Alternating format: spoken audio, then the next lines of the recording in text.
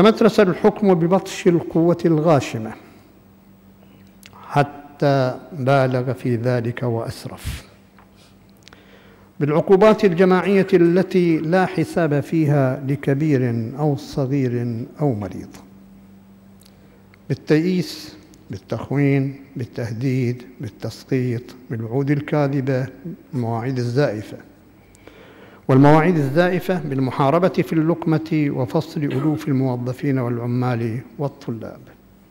بدعوى عمالة الأعداء عمالة الأعداد الجماهيرية الواسعة للأجنبي والتدخلات الخارجية في الشأن الداخلي وهو الشيء الذي ارتكبه النظام نفسه بالاستعانة بالجيوش المجاورة لقمع الشعب والشعب من كل ذلك بريء براءة يوسف من دم الذئب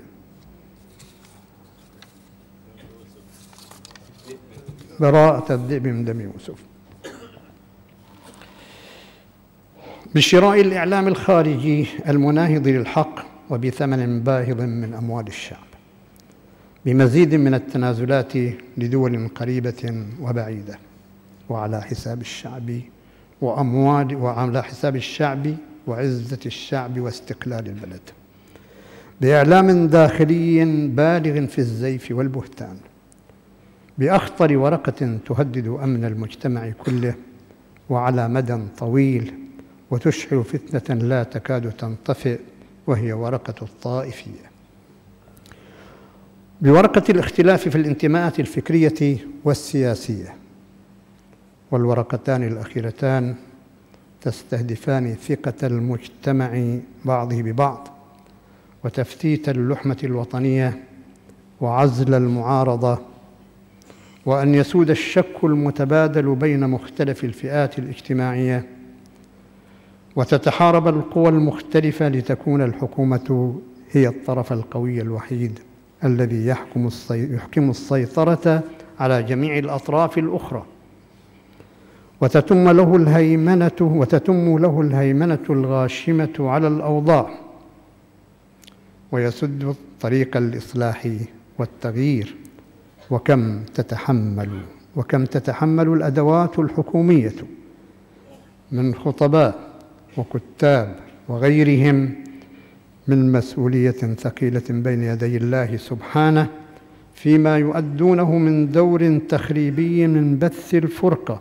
وتشتيت الكلمة وزرع الفتنة وإشعال نار الحقد وإيقاد وإيقاد نار الحرب بين أبناء الدين الواحد والوطن الواحد والأمة الواحدة تآمرا على الجميع وكيدا بهم ومناصرة للظلم وتثبيتا له وتوسيعا من رقعته وحرصا على الدنيا وتزلفا للقوة الغاشمة وطلبا للمال.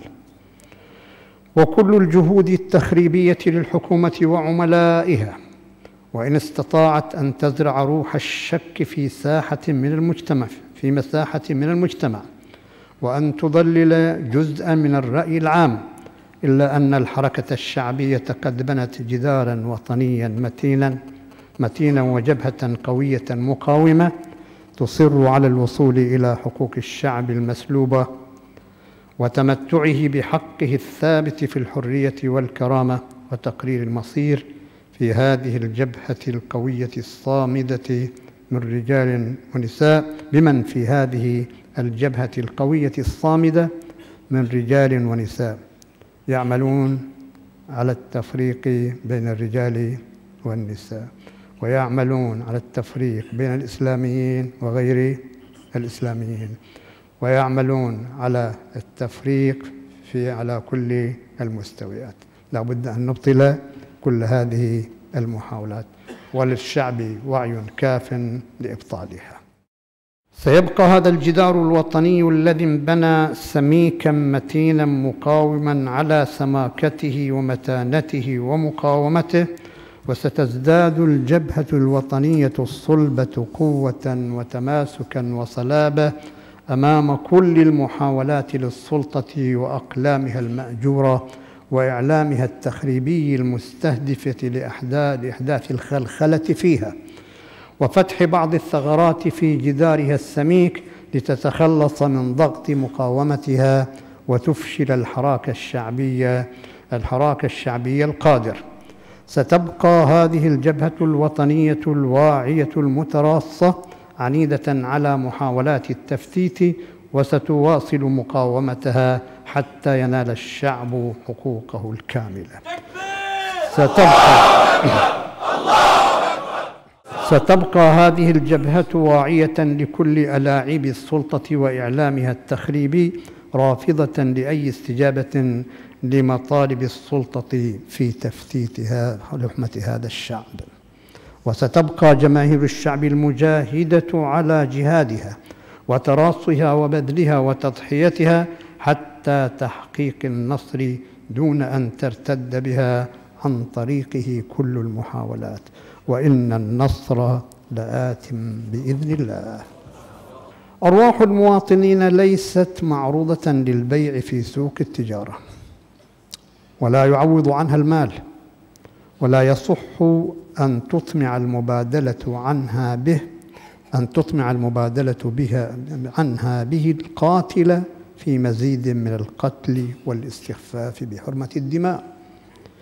والسلطة التي تتحدث مضطرة عن التعويضات بالطريقة التي تخطط لها لا زالت على عدم احترامها لحق الحياة للمواطن. ولا زالت ولا زالت تزهق أرواح الناس وهم في بيوتهم بالغازات السامة آمنين. وتعرض آخرين للموت في المسيرات السلمية. فما قيمة الحديث عن التعويضات في ظل هذا الوضع المستهتر بالحرمات والإصرار على سفك دماء الأبرياء؟ وماذا يوجع السلطة أن تقتل وتعوض عن الأرواح الغالية بشيء من مال الشعب الذي بيدها لا من مالها. لا بد في القتل من تسمية القاتل والآمر بالقتل وبعد ذلك يرجع الأمر إلى ولي أمر الدم إلى ولي أمر الدم ليختار ما خيره الله فيه. ما لم يتصحح الوضع السياسي فلا تعالج مسألة الدماء والأعراض والأموال بأي, أي بأي طريق من الطرق وبأي تعويض من التعويضات. إن الضغوط الممارسة على إهمال القمة العربية في بغداد لقضية البحرين من جدول أعمالها ما هي إلا واحدة من محاولات وخطوات عملية عدة متكررة لتغييب هذه القضية عن الأنظار وطمس وطمس معالمها وإعطاء الفرصة السانحة المفتوحة للحكم هنا بالتصرف المطلق الغاشم لإسكات صوت الشعب بكل الأساليب القمعية والوحشية. صوت شعبنا لن يخفت مطالبته بحقه لن تتوقف انطلاقته لن تتراجع. اندفاعته لن تخف كبرياؤه لن تكسر وإرادته لن تفل صموده لن يلين مطالبه لا بد أن تتحقق سعيه لا بد أن يفلح ويتحقق الأمل. إلا أن رفعها لشعار الديمقراطية والتداول السلمي للسلطة وحق الشعوب في العدل والحرية والكرامة يدين أغلب أنظمتها. ويعترف بمشروعية حركة الشعوب المطالبة بالحق والحرية ويفتح الباب واسعا أمام الربيع العربي ليستكمل مهماته الضرورية مهماته الضرورية في الساحة العربية ويعم كل شبر منها بالإصلاح والتغيير. فللشعوب أن تقول للانظمه من فمك ادينك فبوركت الحركة التحررية للشعوب والاعتماد على الله وما النصر إلا من عنده والعزة لله ولرسوله وللمؤمنين.